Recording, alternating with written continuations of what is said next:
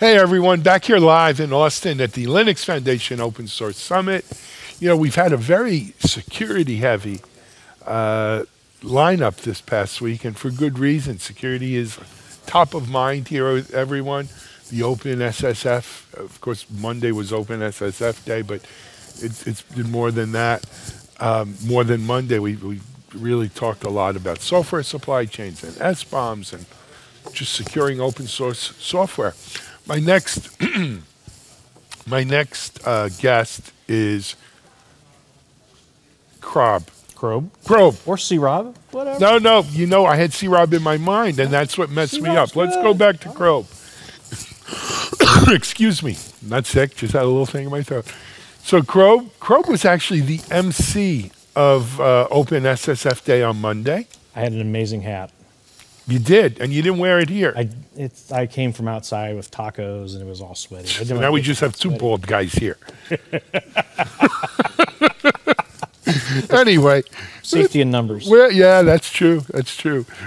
Wear the hat next time. But anyway, um, first of all, Crow, welcome, man. Thank, Thank you. you. It's wonderful to be here. I'm excited to have this little chat. We are excited to have you on here. So before we jump into Monday and, Mm-hmm. and Open SSF Day and that whole thing, you, you're with Intel. I am. Mm-hmm. Full disclosure. What What do you do in your day job? So my day job, uh, I am the director of security communications. So primarily, our function is um, as incidents happen. So there's a new vulnerability discovered, or researchers find some report on our portfolio.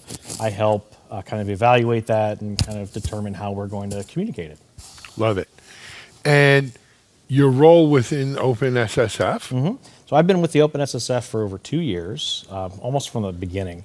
And uh, currently, I am the working group lead for the Developer Best Practices Working Group Love it. and the Vulnerability Disclosures Working Group. I'm uh, I sit on the Technical Advisory Committee, so we help kind of shape, steer the strategy for the foundation. I'm on the Public Policy and Government Affairs Committee, and I'm just now the owner of two brand new SIGs, uh, special interest groups underneath the working groups. So I'm in charge of the Education SIG and the Open Source CERT SIG. So we're going to create a PSIRT for open source. That's beautiful, man. Um, that is really, and, and let's talk about that cert. Yeah. That'll be through Linux Foundation. Yeah, we're, we are still. Uh, so uh, back in May, the, the foundation and some uh, contributors created the mobilization plan. I'm sure people have talked about it this week. 10 point plan Right. addressing, trying to help uh, respond to things like the White House executive order. And it's a, uh, a plan that says these 10 different work streams we feel we can improve the security posture of open source software. And uh, the open source CERT was uh, Stream 5. And the idea is to try to find a collection of experts from around the industry that understand how to do incident response and also understand how to get things fixed within open source communities. So we're, we have our first meeting for the SIG the first week of July, and we're going to try to refine the initial plan and kind of spec it out and see you know, how we want to react. But I think it, ultimately it's going to be kind of a mentorship program for upstream communities to teach them how to do incident response, you know, and help them, you know, work with security researchers and reporters, and also help make sure that you know they've got tools and process in place so they can be successful. I love it. Yeah. It, it is, but uh, let's be honest. This is this is a, a piece of work you cut out for yourself here. I, it, yes, I, I'm, one of my other groups I work with is a group called FIRST, the Forum of Incident Response and Security Teams, and I'm one of the authors of um, the PSIRT Services Framework. So I have a little help, so I understand So you can how vendor fall back on that, right. Yeah, so we're going to lean into that as kind of a model to start with, and kind of see what we need to change to make it work for open source communities. I actually love that good then. Yeah. When when do you think we might see something on this? No no pressure. No pressure. Ah, uh, definitely. Uh, the meetings will be public, so all of that will go up into YouTube, so you'll be able to observe kind of the progress of the group. I expect we're going to take uh, probably at least a month to refine the current plan and submit a proposal back to the governing board. We think this is actionable. So hopefully before the end of the year, maybe uh, late fall, we'll actually be able to start taking action. I love it. Yeah. I love it. Um, I got to ask you, where's the name come from? So the name comes from uh, Novell Groupwise. I'm that old. Yeah. So back in the day, our network was run by an HP VAX, but our email system plugged into the VAX, and you were limited by the characters of your e- your name. So my name, uh, Chris Robinson. So his first letter, first letter, first name, uh, next seven of your last. So I ended up being Crobenzo. And we hired a developer that walked in and he looked at it and he's like, ah, Crobenzo, the Croben, chromosome. Right. That got shortened to Crobe. Okay, right, very cool. So, So thank you, Novell. Chrome, not Chrome. That's right. Thank you, Novell is right. Man, those were interesting days. Remember that Good. stuff? I love that stuff. I used to love. I was a Novell engineer for many years. That's when certs really meant something. It if did. Mm-hmm. you were a certified Novell engineer, man, you were. Yeah. where, where are they now? Oh, they're gone. I know. Sad. I think the last time I was out in Utah. Well, I was out. I think it was 2005. Mm-hmm. I was out in Utah. They were doing. There was something they were working on. Mm-hmm. they bought SUSE, and we thought that that would be pretty amazing to kind of incorporate. This, Novell had some amazing tools. Absolutely. So we thought that would be Direct- pretty awesome. And then, yeah, oh my God, NDS was the best. Mm-hmm. But we were hoping that you know, through SUSE they'd be able to channel these tools and kind of get broader adoption. No, I, I, I think for whatever reason the the well look the, there's a lot of companies from back in those days, right? That, that we think about. Indeed. Uh huh. I um. Yeah. Anyway, let's. So my other working group. So oh, we have more, but wait, do- there's more. We have more. So the uh, Developer Best Practices Working Group is spinning off an education SIG. So a lot of the conference this week is talking about how we need to get more training and certification and education into the hands of developers. So again, we've created another kind of tiger team where we're going to be focusing on this.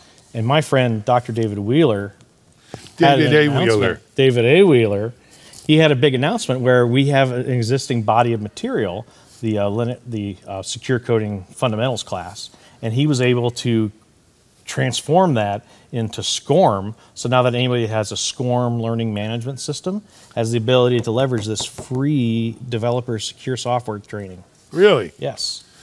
and that's the SCORM system. If you have SCORM, you can leverage this free. Mm-hmm. Yeah, there's some rules behind it, but yeah, absolutely, it's plugged in. We're looking to get that donated to um, higher education, um, historically black colleges and universities, uh, trade schools like DeVry. We're Wherever trying to get this get everywhere. Mm-hmm. into people's hands, that's that's the thing to do. So that get that kind of stuff gets me really excited. Yeah, I, I'll be too. honest with you. You know, all too often we're we're good in the tech industry for forming a foundation and Mm-hmm. a and a SIG and a, and, an, and, a, and an advisory board. But rubber meets the road when you can teach people coming up Mhm. Right? That's So they come in with the right habits because you know it's harder to teach the old dogs the new chicks, right? I can't, I can't take the class. I know the brain's full. yeah, no, I I hear you, but no, but it's not only that. Look, if you've been developing software for 25 years, Mhm. and I'm going to come and tell you, well, what you're doing is wrong, and I need you to start doing it this way now, I, I'm going to make some progress because no one wants to say I know everything and I'm not changing. Uh, People don't say that, but it's just almost subconsciously it's a lot harder. It definitely is, and that's kind of informing our approach. So we have a traditional, about 20 hours worth of traditional class material. So we're looking at how we can transform that material into things like webinars and podcasts, and maybe a boot camp. So maybe next year at um, the Open Source Summit, we might be able to offer a training class where you walk in, uh, take the class, and walk out with a certification at That'd no be charge. pretty cool. And then thinking about, you know, we have a lot of different learners. We have, you know, brand new students. We have people in the middle of their careers. People that are making career changes. So we have to kind of serve all these different constituents, and that's absolutely we're trying. That is one of the problems, uh, kind of the user journeys we're trying to fulfill. Is this? I'm an existing developer. How do I uh, gain new skills or refine what I have? Let me ask you a question. Mm-hmm. So I, I come from the security side of the house for years and years. Nothing a matter with putting the emphasis on developers developing Mhm. more secure software. But shouldn't we also be developing for security people to better secure open source software?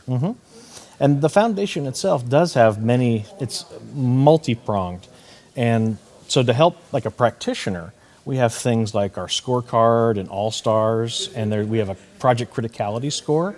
And actually, we just I, there was a great uh, session just a couple hours ago by one of my peers, um, Jacques Chester, and it was kind of a if you're a risk guy, it was kind of based off of Open FAIR, which is a risk management methodology, kind of explaining how we can evaluate open source projects, share that information with downstream consumers and risk management teams or procurement teams, and kind of give them a quantitative assessment of this is what risks you could incur by these projects. So if you have two projects that do the same thing, one might have a higher or lower score, and we'll provide you the data that you could you know, make your own assessment off of that and make your own judgment. So the, we, the foundation is also looking at just uh, many different avenues to get this out there, focused on practitioners and developers. And uh, hopefully, by this kind of Hydra like approach, it, it'll be successful. It'll stick. You know what? You just put as much stuff on the wall and whatever sticks, sticks, man. Hope so. Anyway, hey, Crob, right? I got it right? Yep. All right. Thank you for stopping by. Thank also, you. thank you for all you do, right? I mean, it's a community thing. These are not paid type of gigs, That's right? for sure. Yeah. No. And and uh, I thank you for your for your time and efforts on that. Thank you very much.